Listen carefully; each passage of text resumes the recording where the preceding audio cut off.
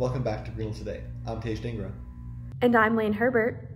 Whether you've been in person or returned to campus this week, we're very excited to bring you our second episode of the year. During the school year, there's no doubt that we would all love to be back on campus and everything go back to normal so that we can see each other. Although the situation today isn't what any of us would hope for in an ideal world, we are dedicating this episode to the many hours that Greenhill teachers put in to make this shift to online learning as seamless and effective as possible for us students.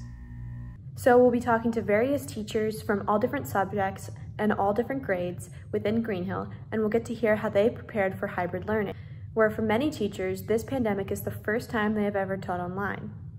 So, let's go to the interviews.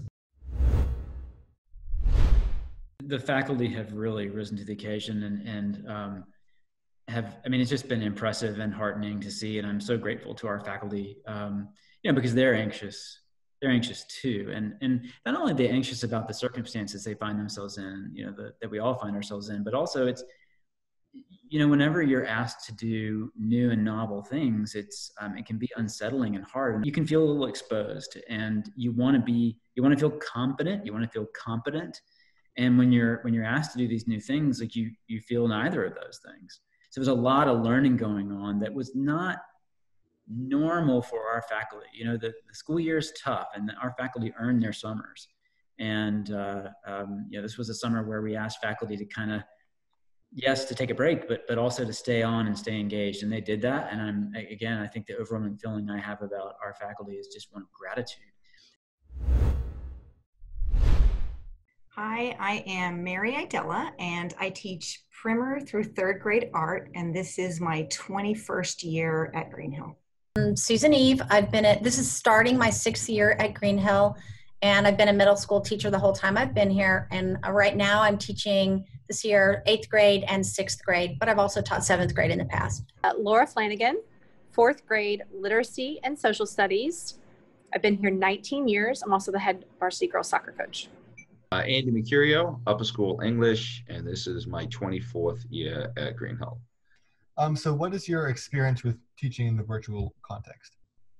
Um, Zippo, big nothing, right? Until last spring, I had never even taken a class online myself.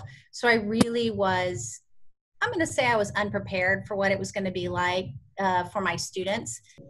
Uh, just dove right in in the spring. Um, when we when we were all sent home and that was um, that was the first time i had done anything like that. Um, so uh, it, there was a lot to learn but um, you know we had so many zoom meetings then that i think i think picked it up pretty quickly.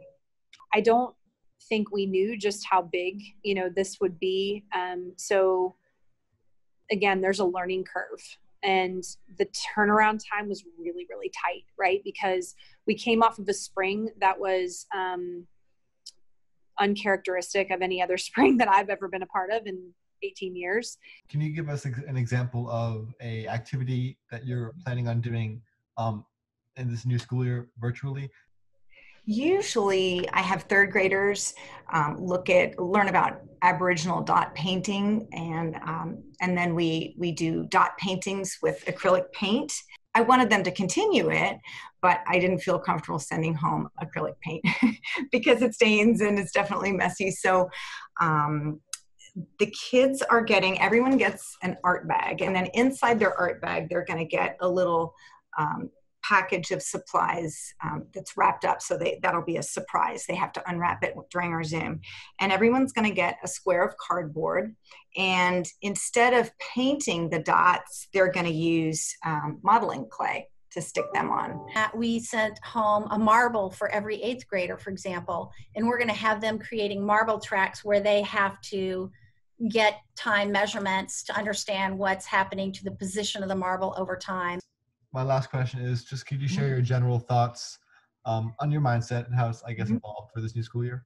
We just have to practice with them. We have to learn by practicing. And i think some of that's going to happen again here in the fall.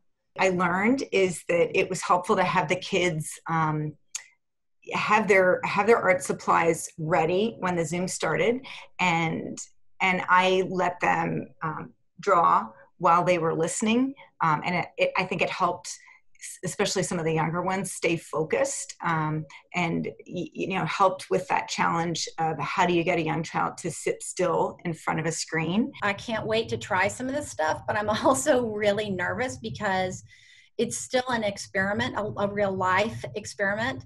Uh, where I'm just going to have to say, okay, we're going to try it like this, and then get feedback from my students to say, you know, did it work for you? What about it was good? What about it was bad? And then, you know, just keep coming back to the drawing board, I think, uh, lots and lots of times until we do find the recipe that's going to be the most beneficial for all of the students. Retaining the humanity of it. And for me, the way I, I put that into practice was having some breaks there in the middle that were just like that sort of soft downtime that also builds relationships and connections um, because when you're talking about these kinds of things it's it's not irrelevant. You're what you're doing is you're learning about each other you know um, and you're getting to interact with each other. And i think in this setting whether it's it's fully online or hybrid building connections remains the central part of each and every class. Thank you so much for tuning into Greenhill today. We hope you're all safe, happy, and healthy as we really get into this new school year. In the coming episodes, we're going to work hard to put a spotlight on all the underappreciated members of our amazing Greenhill community who are keeping us on course and working hard so that we can continue to be Greenhill together, even from a distance. But for now, that's all we have for you. We'll see you next time on Greenhill Today.